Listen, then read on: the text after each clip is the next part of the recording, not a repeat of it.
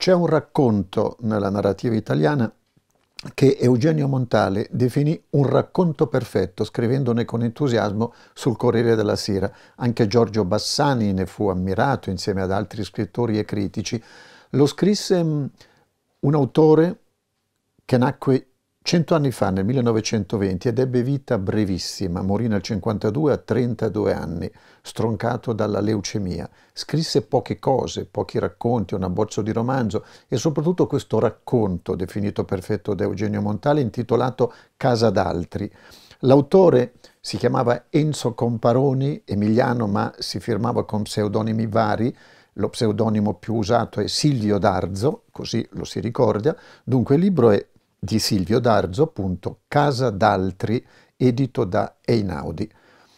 Il racconto è presto detto nella, nella, sintesi della trama che sembra essere molto labile. Siamo in un paesino sperduto sulla montagna emiliana nell'Appennino, quasi fuori dal mondo, anzi letteralmente fuori dal mondo, eh, aspro in un inverno rigido, poche case di pietra, poche persone, molte capre.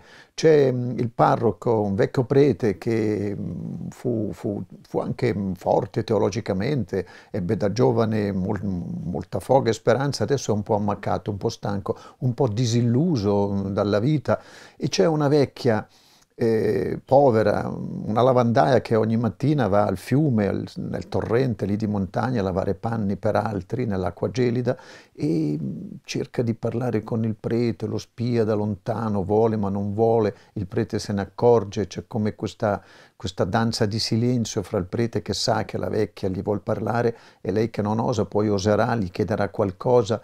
Lascio al lettore di, di delibare eh, il prosieguo del racconto. Importante dire che è una storia scarna, scritta con una prosa eh, semplicissima e al tempo stesso intensa.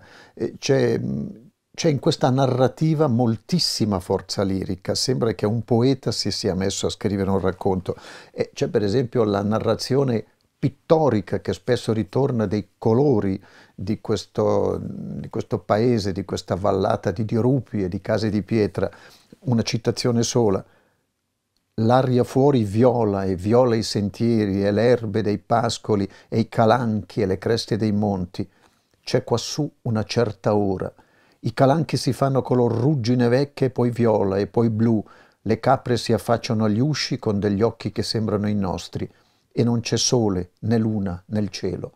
Sembra una poesia, la prosa di Silvio Darzo, con questo racconto stupefacente che lascia aperto anche un mistero, una incomunicabilità, un silenzio abitato dalla voglia di dire cose che si strozzano in gola, il grande enigma della vita, Casa d'altri di Silvio Darzi, di Silvio Darzo, uno scrittore che visse pochissimo, scrisse pochissime cose importanti che hanno lasciato il segno.